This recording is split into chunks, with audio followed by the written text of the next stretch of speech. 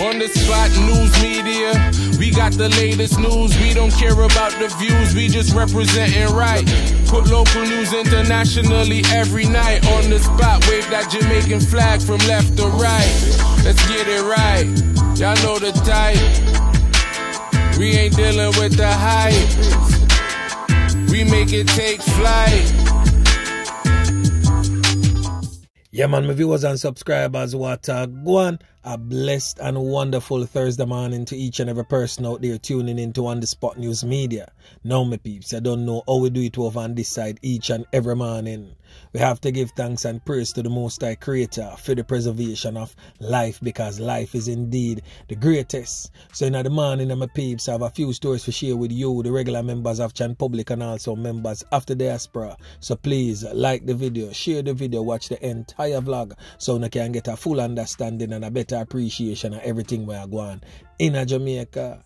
So watch this now, my peeps. Less than a week into this new year, 2023, and Western Jamaica is definitely showing no signs of improvement as the criminal elements, the old dirty kind of boy them, continue to wreak havoc into the communities of Western Jamaica. A low knockings and clappings. The man them not give a rat's ass about what the government has implemented as it relates to illegal firearms. Them literally not care. It seems as if a death, doom and gloom spell hovers over Western Jamaica and it has taken over our young men so watch this now, my peeps. We're to kick it off over there in the Westmoreland Police Division, where a 22-year-old man was taken out by Officer Yeman Pican team during an alleged confrontation in Waterworks, Westmoreland. All of this took place on Tuesday.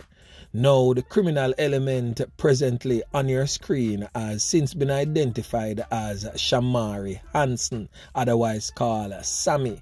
He's from Goldsmith Lane in the community. The police states that this Taurus pistol affixed with a magazine containing two live 9mm rounds was seized in that knockings and clappings incident. Now reports from the Westmoreland police is that Officer Yeman Pican team who was temporarily assigned to the Westmoreland Proactive Investigation Unit was on mobile patrol duties in the Whitton police area when they observed a man dressed in a blue pullover blue jeans pants, blue slippers, and this man was approaching them from the opposite direction. Upon the approach of the police unit that Officer Yeman Pican team was driving, Anson is said to have recognized Officer Yeman Pick and take himself into heavy bushes. But being the type of officer Officer Yeman Pican team is, they gave pursuit of this man into the hilly terrain where it is alleged that Anson did unthinkable. The police stated that Anson fired several shots in their direction, I think in a bid to save his life, knowing fully well how well trained Officer Yeman Pican team is. But those officers is definitely fearless and well trained from the agriculture school in Portland. Train off a plant can in a dirty boy tomok.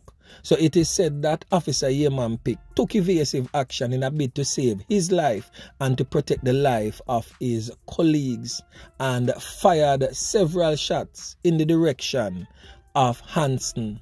And of course, Hanson was hit and injured. Now, the Taurus pistol with the magazine containing two live 9mm rounds was reportedly retrieved from him.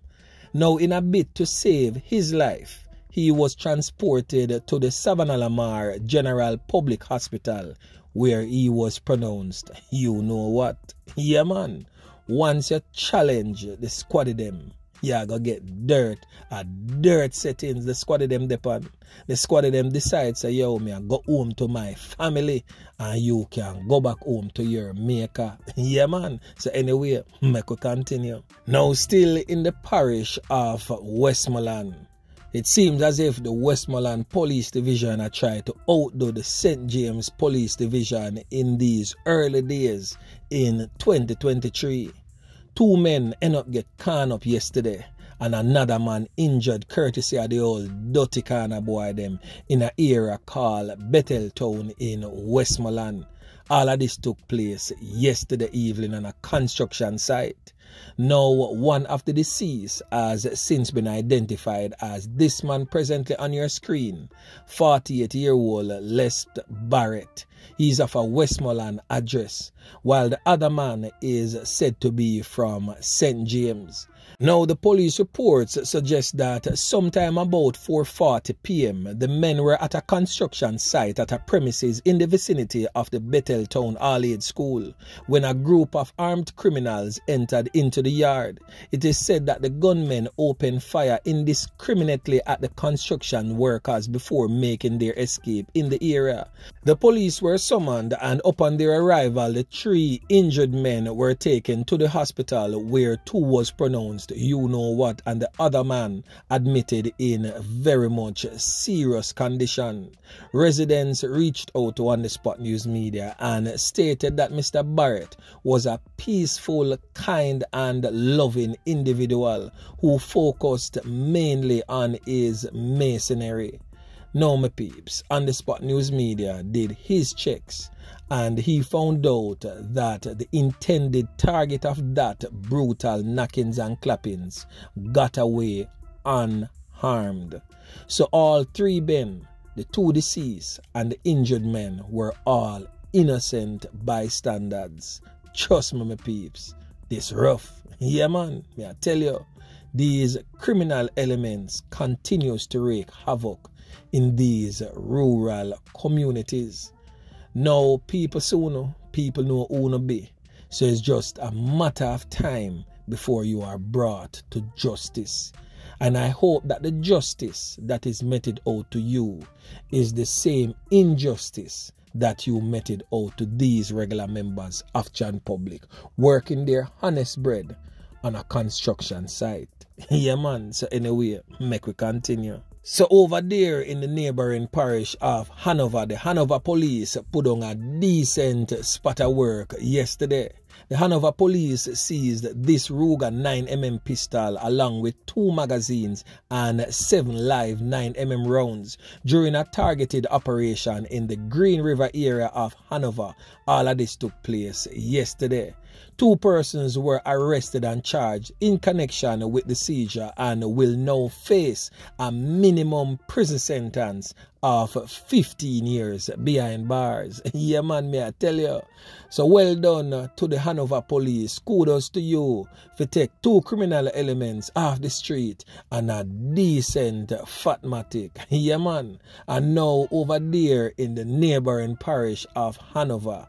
The neighboring parish to Hanover is well known. That is definitely that of St. James. The St. James Police Division has recorded its second knockings and clappings that resulted in the loss of life of a man. Now, over there in the Mount Salem section of the St. James Police Division, which is uh, still one of the communities across Western Jamaica that is currently still under the zones of special operation, ZOSO. And knockings and clappings going over there. And a liquor man end up get dirt. That man has since been identified as 27 year old Nicholas Clarke, presently on your screen but popularly known in the streets as Kid. Now it is reported that around 10:45 p.m.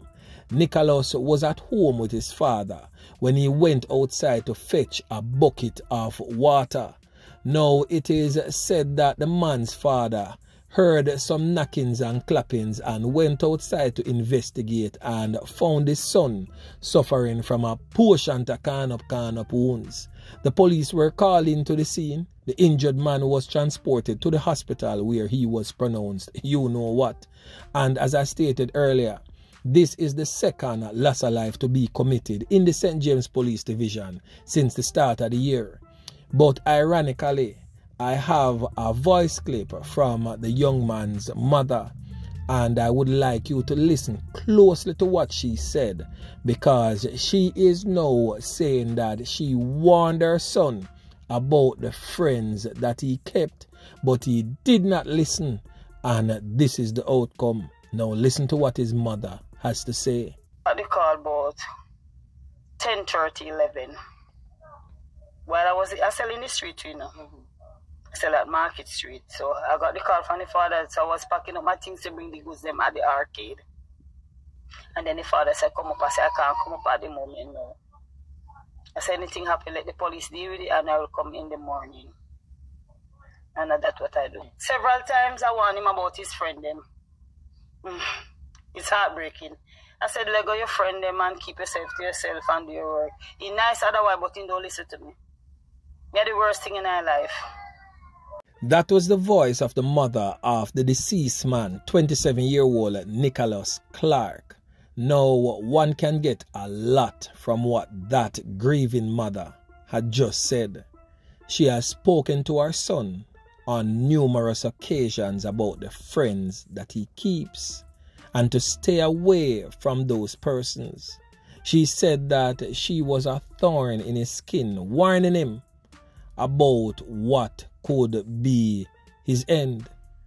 And she also stated that to him, in his eyes, she was the worst thing. You know that there's a reason why the Almighty Creator gave us parents in such a fashion and not parents in a fashion like cats and dogs where as your eyes are open and you can walk, you're literally on your own within a few weeks. God gave us parents, long standing parenting for a reason.